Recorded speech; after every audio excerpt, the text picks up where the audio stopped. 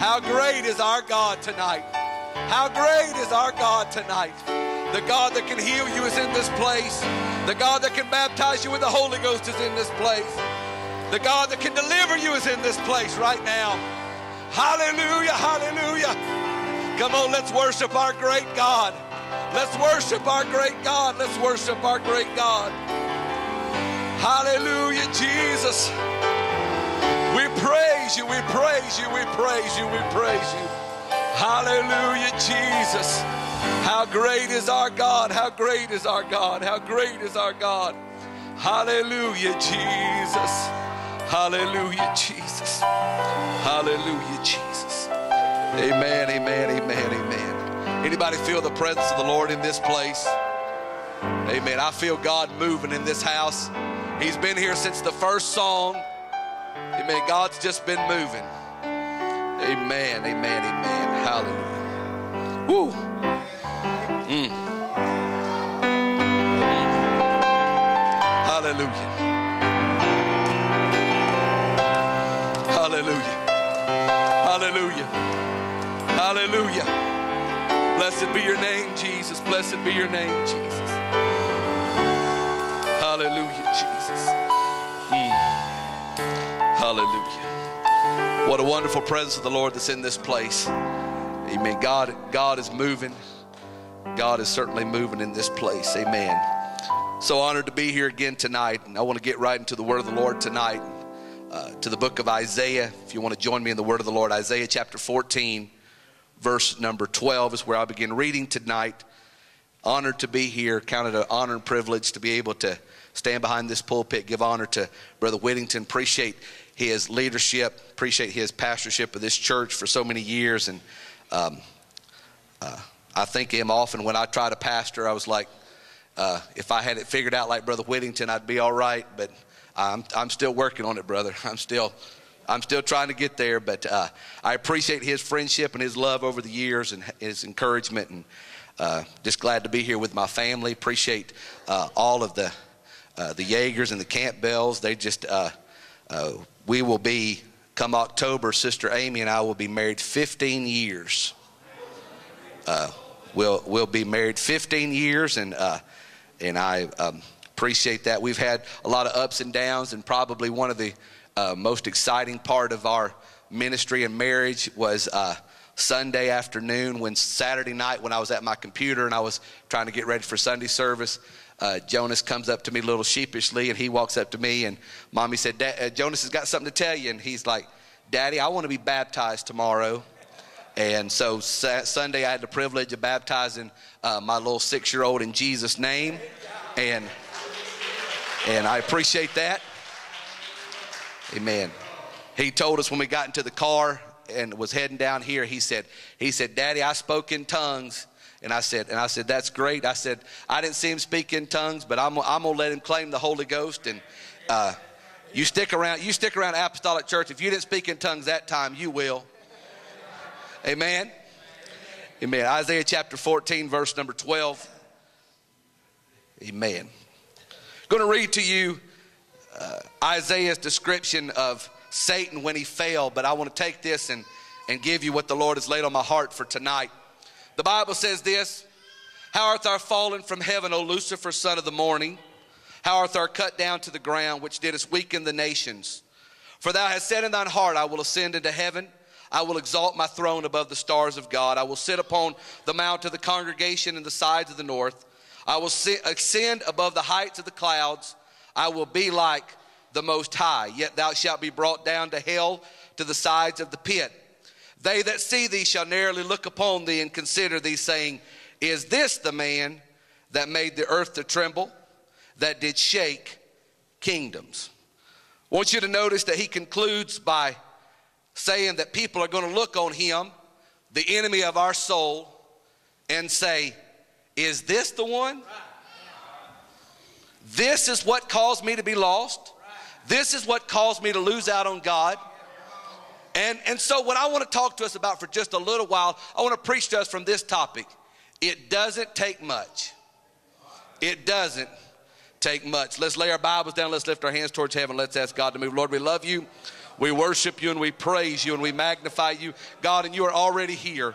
God, your presence is already here, and we feel you. God, move in this place, God. Touch us by your Spirit. God, move upon us, God.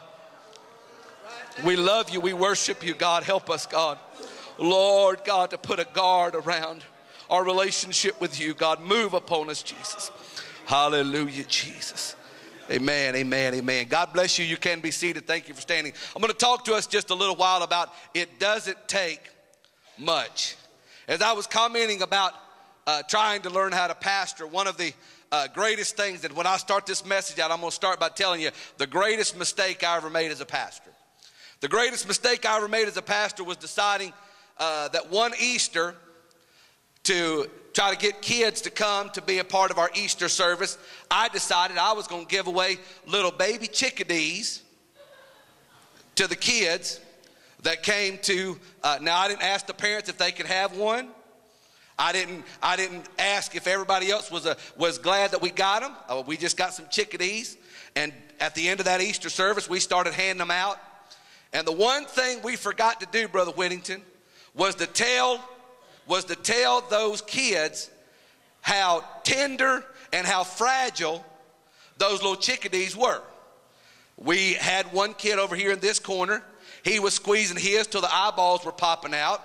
We had one over here that was pulling its leg. We had one over here uh, that was trying to pull its feathers out. We had one that was trying to throw it and see how far he could throw it.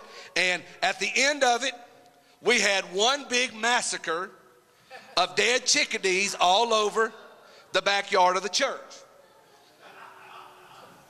Because uh, we didn't tell them that you had to handle those chickadees tenderly, that you couldn't squeeze them, you couldn't pull them, you couldn't pluck their feathers, you couldn't throw them, they weren't baseballs. And because they didn't know how tender those little chickadees were, they all ended up dead, and we ended up picking up chickadee carcasses all over the back of the church yard. That's the worst mistake I ever made. But as I thought about that, Brother Whittington, tonight, God has given me something that is even more precious and more tender than that chickadee. And that is my relationship with God. But if I'm not careful, I'll forget that my relationship with God is very tender and very fragile and that it could be the smallest thing that could cause my relationship to either lose out with God or either go forward with God. So tonight, what God has sent me here to do is to challenge some young people, some saints of God, some young uh, students here to tell you that when it comes to your relationship with God, you better put a guard around it because it doesn't take much for you to lose out with God. It doesn't take much for you to backslide. It doesn't take much for you to lose out with God. There is something that we have forgot about that we have lost in all of the church things that we do, and we need to remember it. It is that we have an appointed assign or assignment appointed to us, and it is not death. The appointment of once died, then the judgment doesn't worry me, Brother Whittington. But what does worry me is the Bible said that all of us must appear before the judgment seat of Christ. That what worries me is not the day I'm going to die, but what worries me is the day I stand before Jesus and I have to give an account for my life. And somehow we forgot that. But I want to remind everybody that sometime you're going to stand before Jesus and you're going to give an account for your life. And in that uh, encounter, he is either going to say, Depart from me, or he's going to say, Well done, enter into the joy of the Lord. That means that that one appointment is going to determine my eternal destination. That one meeting with Jesus is going to determine am I going to spend eternity in a paradise called heaven or am I going to be lost out out of God's presence in a place called hell and with so much on the line with so much at stake I've got to decide on this Wednesday night that the most important and valuable thing in my life is my relationship with God. And I got to make sure that the little things don't cause me to lose that relationship. I got too much, I got too much to lose to let some little thing destroy my relationship. God sent me here because I wanted to preach something else, but God sent me here to warn somebody that you're getting ready to make a decision. And it's just a small decision. It's just a small thing. There may be a young person here tonight that says, My, my relationship with God can withstand a relationship outside of church. That, that, that, I, that my relationship with God can withstand missing a few services. That my relationship with God can withstand missing prayer meeting. That my relationship with God can withstand not going to youth meeting. I've come to tell you, it's those little things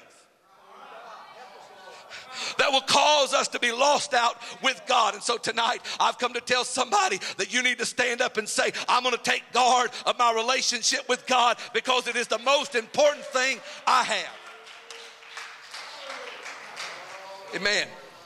When Isaiah describes the rebellion that went on in heaven, he said that there Lucifer decided he was going to be like the Most High. And when he did, the Bible describes his, his eviction from heaven as simply God lifting his finger and casting out Satan and a third of his angels. And Isaiah, when he prophesied and told of this event, he said that two things were going to happen. He was going to be cast down to hell, and the second part of it is was that everybody was going to get to see just how small and how little the devil really was. That there are some of you today, your testimony may be the devil's been all over me. Well, when you see how little the devil is, you're going to be ashamed that you gave the devil so much credit. That when you look at him and when your eyes are open to how small he really is, you're going to leave here saying, I, I, There's no way that that devil can keep me from living for God. Isaiah said, Isaiah said, they're going to look on him. And people are going to ask the question, Brother Billy, they're going to ask the question, This is the one This little dude sent me to hell. This little thing. You say, where do you get that? Well, listen to how Isaiah says it. He says, he says they will look on him and narrowly look on him and they will say, is this the man? It's as if they're bewildered by the fact that the earth shook at the moving of this man, that the earth trembled and kingdoms shook at this man. And it was simply Isaiah saying, It's the little small thing that's going to cause people to be lost and lose out with God. And tonight, I want to tell you tonight that it's time for us to stand up and say, I am not going to let the little thing, the little thing. Here's what the Lord asked the Lord asked, and I'm almost done preaching. Uh, the Lord asked these two questions. He says, He says, What would you gain? What would you exchange for your soul? And if you gain the whole world and lose your own soul, what have you accomplished? Because he understood the workings of the adversary. He understood that from the beginning, when Satan was cast down to earth, he always worked in subtle ways.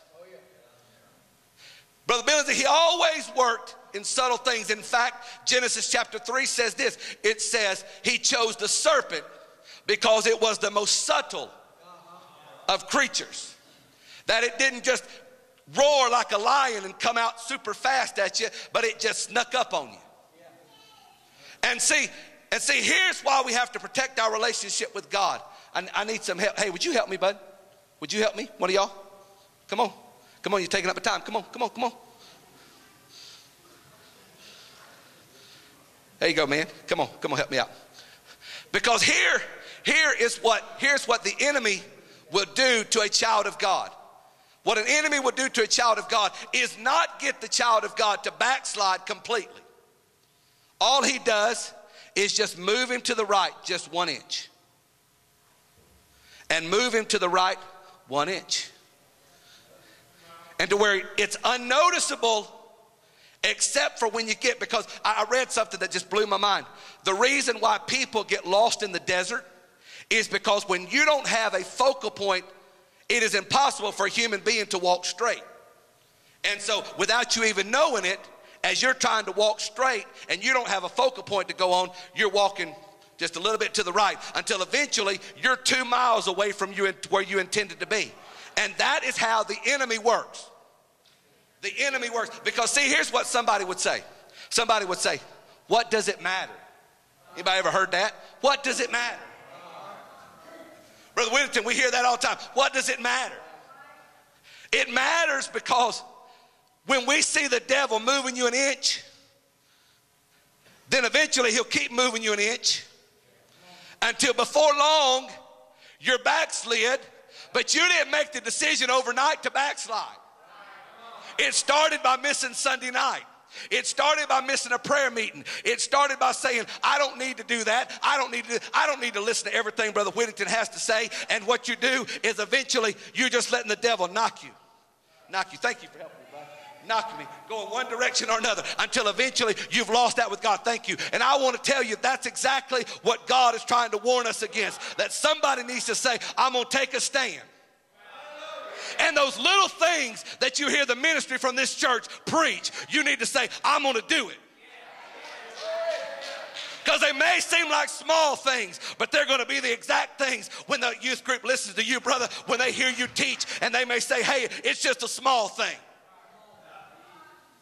It's just a small thing. I, I, hear young people there at our church too. They're everywhere. They're saying, Brother, Brother Cannon, my relation, my, my relationship with God can withstand a relationship outside the church.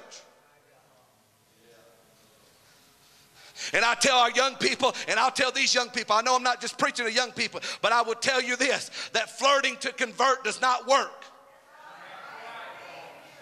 It is a subtle ploy by the devil to lure you outside of the house of God. I don't know who I'm talking to, but you better listen to me. You better go home, get on Facebook, break up with that boyfriend, break up with that girlfriend. I done got the pastor, and I'm sorry, but but I'm telling somebody you need to realize that God sent me here on this Wednesday night to say you're about to make a small decision, and you've said, "What does it matter?" But it's the little bump that's going to lead you down the road, road to being backslid. And you better hear the words of Jesus when Jesus said, What shall you give in exchange for your soul? Or what if you gain the whole world and you lose your soul? The writer of Song of Solomon said, Watch out for the little foxes because they spoil the vine. When Jesus was prophesied of by Isaiah, what Isaiah said that Jesus came, the Bible said that he would grow up as a tender plant. That as powerful as Jesus was, he had to be handled with care. He had to be handled, even though he was God manifest in the flesh, he had to be handled with care. He went on to say, A bruised reed shall he not break, and the smoking flax shall he not quench. He shall bring forth judgment into truth. The little small things. All it takes is for you to decide that I'm going to, because you know where it starts? Here's where it starts. It starts with a three word scripture that we sometimes overlook, and that's quench not the spirit. Because that's where it starts. Where it starts is when God shows up on a Wednesday night, Sunday morning, Sunday night, and God starts speaking, brother. And what we do is ignore God's voice because we don't want to do what God said do. And when we quench the Spirit of God, that leads us down the road because we think, well, it doesn't make much difference because if I don't do it, somebody else will do it.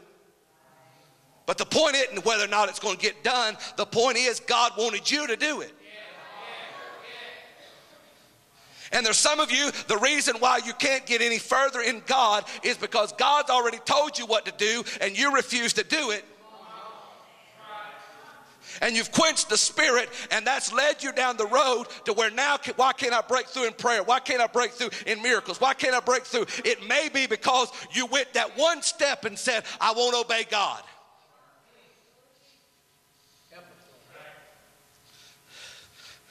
That is just a small thing. But can I tell you something?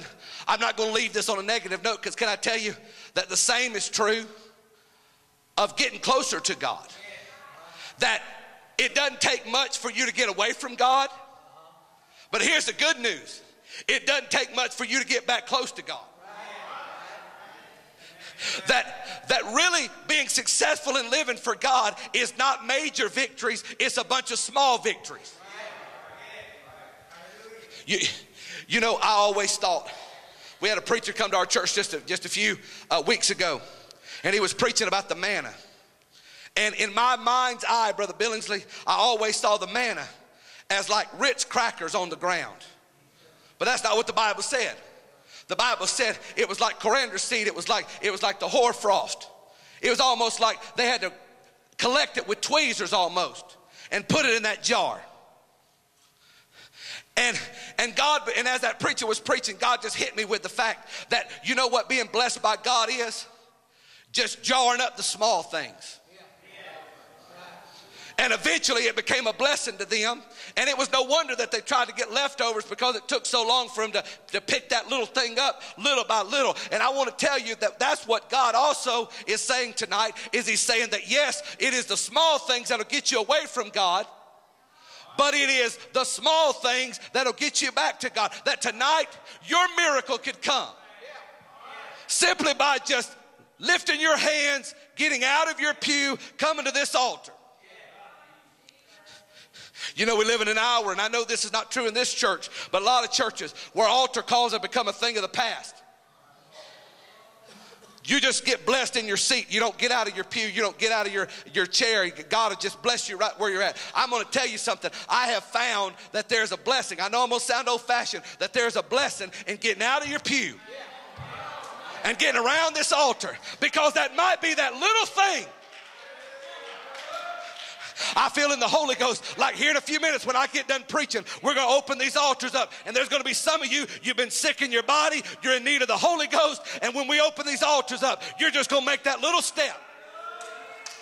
And the Holy Ghost is going to hit you, and God's going to baptize you with the Holy Ghost, and God's going to heal your body. Amen. Amen. Because I'm going to leave you. I'm, going to leave you with a testimony. Here, I've been, I've been leaving this testimony all over the place. Uh, if it's been a long time since some of you have seen me, uh, you can kind of tell that I'm getting around a little bit better than I was the last time some of you saw me. It was because God's healed me. Back in January of 2013, uh, or excuse me, when we were going into 2013, I was brought to the watch night service at our church in a wheelchair. I could not walk.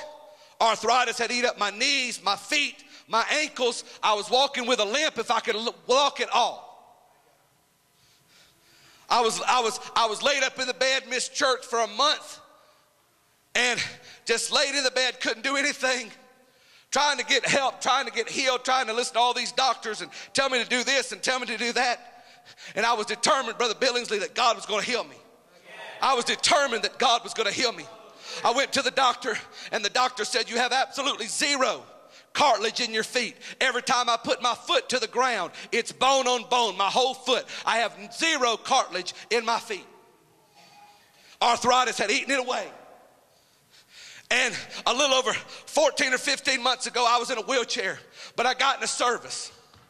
And I felt God say, Go down there. And Brother Billingsley, I limped down to the altar at our church and I had my ministers lay hands on me. It wasn't anything big, it wasn't a conference, it wasn't a camp meeting, it was just a Thursday night service.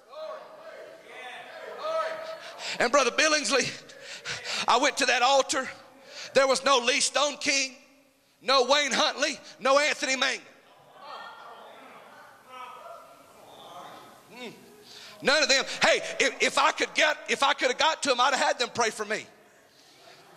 But unfortunately, I don't have Anthony Mangun on speed dial. And so what I did was I said, okay, God, I'm going to listen to you. And I got out, and I'm the pastor of the church, but I get out the altar, and Brother Billingsley, I just have my, my preachers lay hands on me. No Lee Stonekings, just good men of God.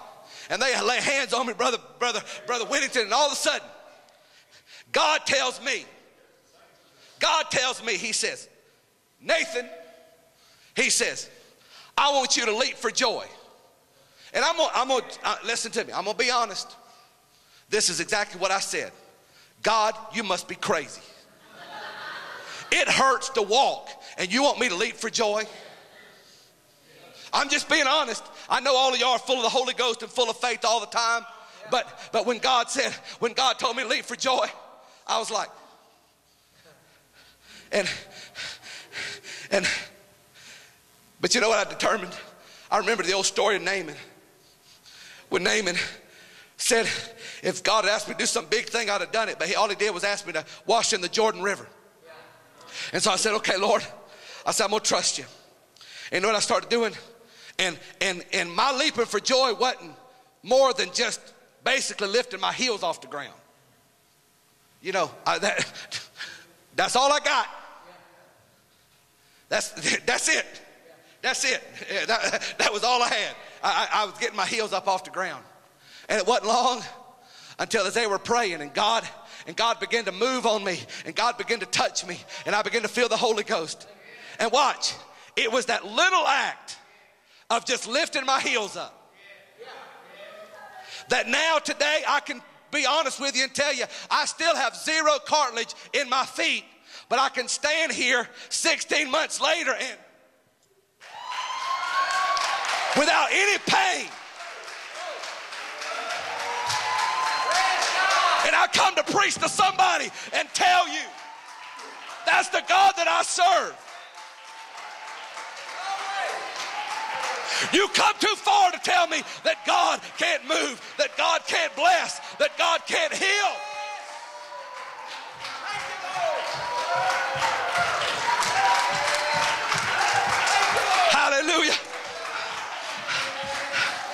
Hallelujah. You listen to me. You listen to me. If you've got pain in your body, I've come to tell you that there's a healer in the house tonight. He is a healer. He healed me. I know what it feels like to have pain every night in your body. I know what it feels like to miss sleep because you got pain in your body. But I've come to tell you, the Holy Ghost sent me by to say, it might be a little thing that God might ask you to do in this service. But I've come to tell you it doesn't take much to get a miracle. All you got to do is just be obedient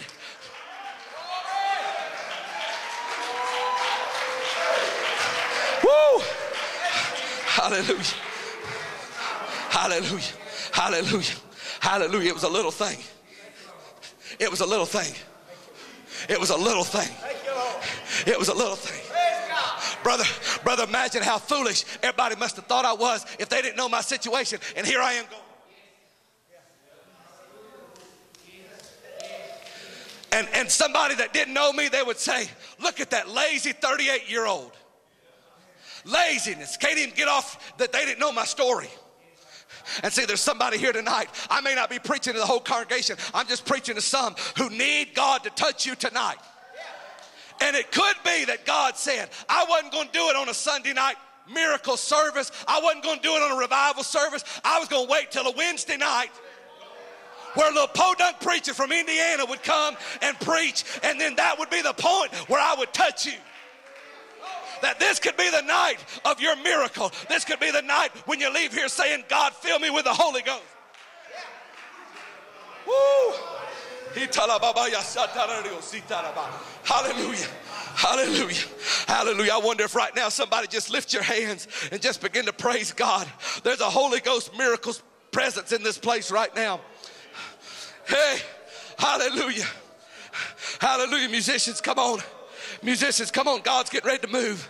God's getting ready to move in this house.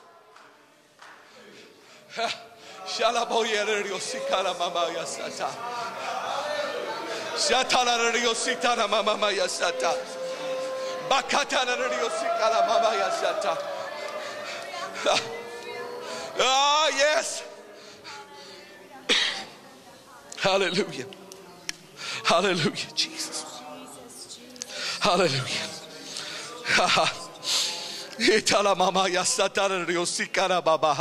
Hallelujah.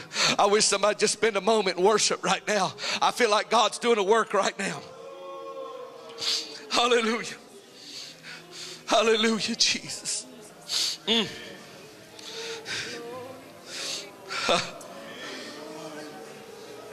Hallelujah. Hallelujah. That's it. It doesn't take much. It doesn't take much. Come on, that little act of faith, it doesn't take much. Come on, God's not needing some big thing, He just needs a small thing.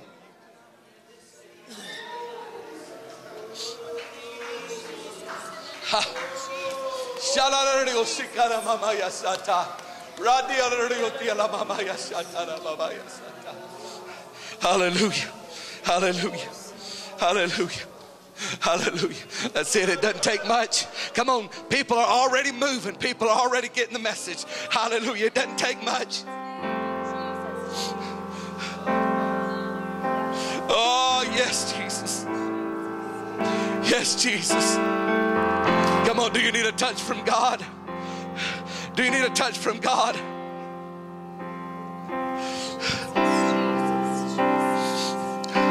Hallelujah, Jesus. Hallelujah. Hallelujah, Jesus. Come on, do you need something from God? Do you need something from God in this place?